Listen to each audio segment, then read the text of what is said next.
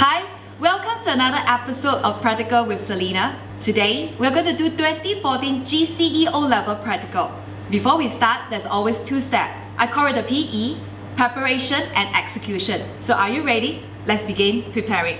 Let's put the reagent to one side.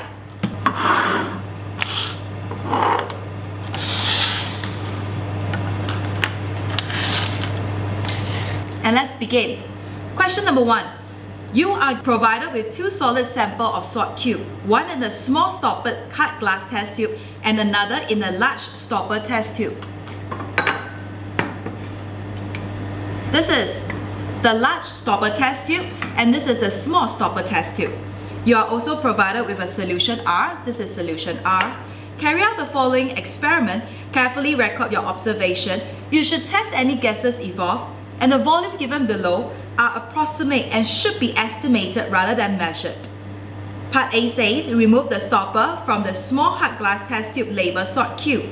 Heat this test tube gently at first and then strongly for about a minute. During this stage, you may observe water droplet being formed on the sides of the test tube. Well, you'll be heating later, so let's begin testing the Bunsen burner. Well, it's working perfectly. Let's put this aside and let's move on is go on to say continue to heat strongly until no further changes are seen. This should take at least another minute. While heating strongly, test any gases evolved using litmus paper. And we have all the litmus paper here at the side.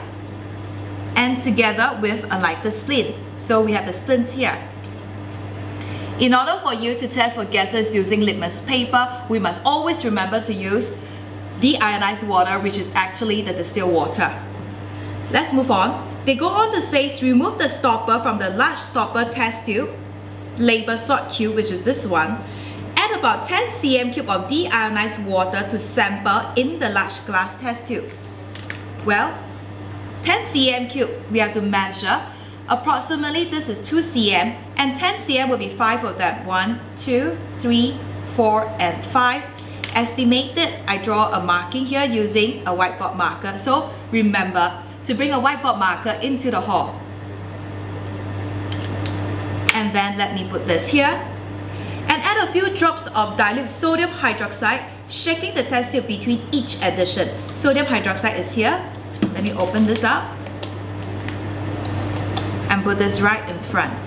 When 2 cm cube of sodium hydroxide is added, followed by two pieces of aluminium foil, usually when sodium hydroxide is added, we have to refer to the QA notes. Sodium hydroxide together with foil, you're actually testing on nitrate. A gas ammonia will be evolved. Ammonia, you will turn damp red litmus paper blue. And another 2 cm cube of NaOH. So let me put this here. It goes on to say, place about 1 cm cube of Q into a clean test tube. So let me use this. 1 cm cube. And this is part C. Let me label it. 1 cm cube is half of this. So let me put this here. Aqueous ammonia. So let me take this out. Aqueous ammonia. Me put this here. C use just only aqueous ammonia. Now, let's go back to the QA notes again.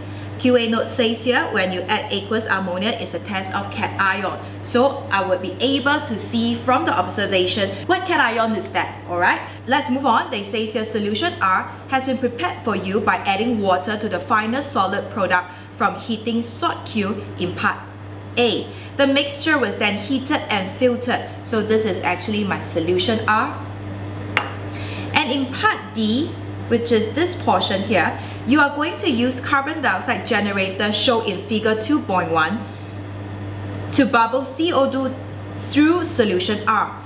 To assemble the carbon dioxide generator, cover the marble chips with dilute hydrochloric acid and insert the bung, which is this one here, and the delivery tube.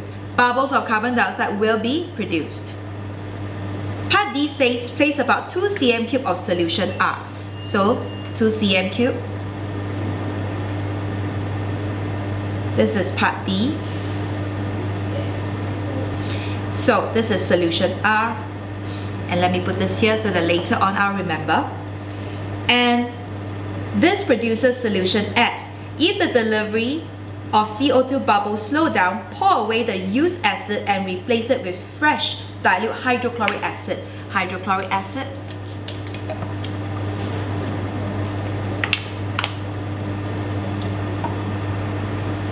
Remove the test tube containing solution S from the delivery tube and gently heat solution S until it starts to boil. Well, I have prepared the first portion here. The next part is supposed to do the conclusion. It says here suggests an identity for the cation end of the anion in salt Q. Give the evidence to support each of your suggestion, cations and evidence here.